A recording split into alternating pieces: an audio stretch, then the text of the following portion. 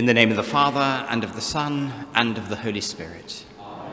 The grace of our Lord Jesus Christ, and the love of God, and the communion of the Holy Spirit be with you all.